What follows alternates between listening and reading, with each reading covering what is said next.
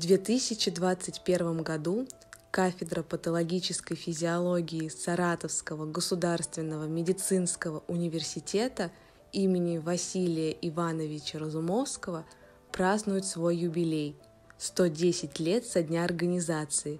Именно поэтому нам бы хотелось лучше узнать, какой жизненный путь прошел основатель кафедры Александр Александрович Богомолец, почему его считают экстраординарной личностью – о каком эликсире бессмертия упоминается в его работах и почему его фамилия на слуху не только в России, но и во всем мире –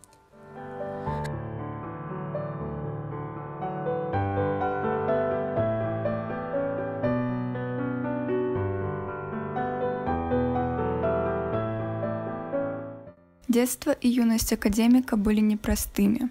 Его мама, Софья Николаевна, по политическим причинам попала в тюрьму, будучи беременной. Александр родился 24 мая 1881 года в крошечной коморке лазарета Киевской Лукьяновской тюрьмы. Узнав о рождении внука, спустя две недели родной дед забрал его в корзине для белья – и вырастил как собственного сына в своем имении в селе Климово Зиньковского уезда на Полтавщине. Будущий патофизиолог поменял много школ. Из одной даже был отчислен на предпоследнем году с официальной формулировкой «за опасное направление мыслей». Но несмотря на это, он все равно закончил с отличием первую киевскую мужскую гимназию в 1900 году.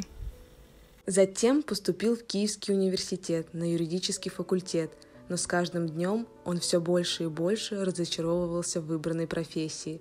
Лекции казались ему скучными, а его взгляды на развитие страны не совпадали с преподавательскими.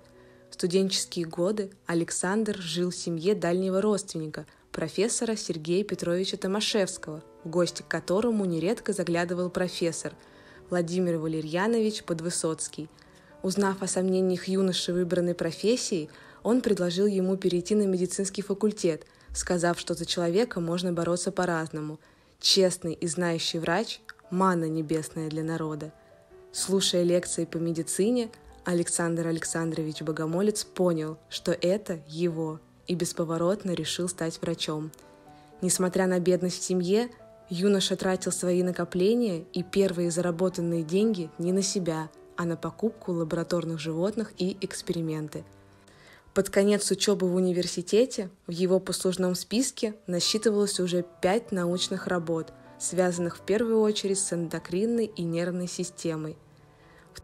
В 1909 году Богомолец защитил докторскую диссертацию к вопросу о микроскопическом строении и физиологическом значении надпочечных желез в здоровом и больном организме в Императорской Санкт-Петербургской военно-медицинской академии – Оппонентом при защите был Иван Петрович Павлов, который высоко оценил его работу, после чего Александр Александрович стал самым молодым в Российской империи доктором медицины. На тот момент ему было всего лишь 28 лет. В 1911 году Богомолец был направлен в Императорский медицинский институт в город Саратов. Именно тут молодой ученый начал свою самую продуктивную научную деятельность – заложил основу новой отрасли медицинской науки, патофизиологии и создал одноименную кафедру. Сам набрал преподавателей в штаб и закупил приборы на собственные средства для кафедры. Организовал первый в России институт микробиологии и эпидемиологии, а также написал пятитонную научную работу, которая считалась классикой патологии.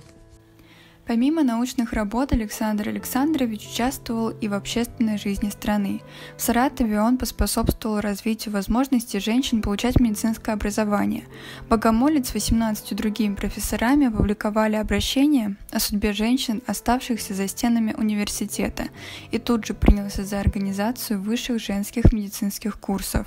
Кроме этого, он активно помогал Красной армии в период гражданской войны, борьбе с эпидемией холеры, тифа и малярии. Александра Александровича Богомольца всегда интересовали вопросы продления человеческой жизни, так как он считал, что средний возраст людей должен составлять около 120 лет. Именно в Саратове молодой ученый создал свое самое важнейшее изобретение – антиретикулярную цитотоксическую сыворотку – новое, на редкость эффективное лечебное средство, которое не имело себе равных по универсальности, так как оно ускоряло заживление ран, активировало иммунную систему и предотвращало преждевременное старение. Помимо этого, ацесыворотка безотказно действовала при наиразличнейших заболеваниях – тифах и скарлатине, язвах и повреждениях костей, глазных и раковых заболеваниях, гипертонии и склерозе. Такая универсальность действия сыворотки объясняется просто. Она эффективна во всех случаях, когда болезни сопутствуют ослаблению функции соединительной ткани. Особое значение сыворотка имела во время Великой Отечественной войны, спасая большое количество раненых. Александр Александрович контролировал деятельность 54 пунктов переливания крови, которые работали по его методике с ацесывороткой. Открытие богомольца было сенсацией во всем мире. Американское военное ведомство объявило о конкурсе на статью о лучшем открытии 1945 года. Все считали, что это однозначно применение атомной бомбы, но миллионы читателей были удивлены, когда опубликовали сообщение об этой самой АЦ-сыворотке, которая продлевает жизнь. Статья называлась «Вы можете завтра жить больше». В 1925 году Александр Александрович Богомолец переезжает в столицу для работы заведующим кафедрой патофизиологии во Втором Московском медицинском университете, после чего принимает участие в создании первого во всем мире Института переливания крови и гематологии. Под руководством ученого был разработан уникальный метод консервирования донорской крови – который применяется до сих пор без принципиальных изменений. В то же время он вместе со своими учениками выявил универсальность первой группы крови в плане донорства.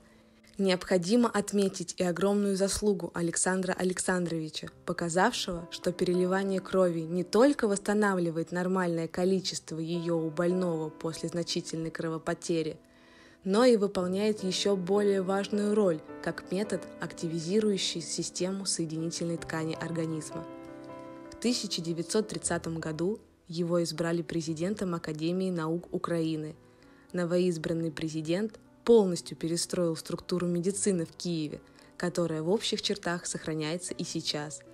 Как и другие выдающиеся ученые, Александр Александрович Богомолец – сумел предвидением значительно опередить современный ему уровень науки. Он сумел показать, куда должны быть направлены усилия исследователей, какова должна быть методологическая основа их творчества.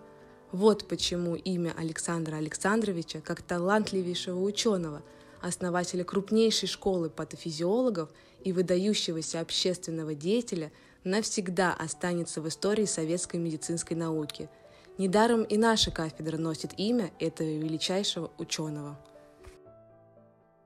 В заключение хочется сказать, что 2021 год является юбилейным не только для кафедры патологической физиологии, но и юбилейным годом со дня рождения и со дня смерти Александра Александровича Богомольца.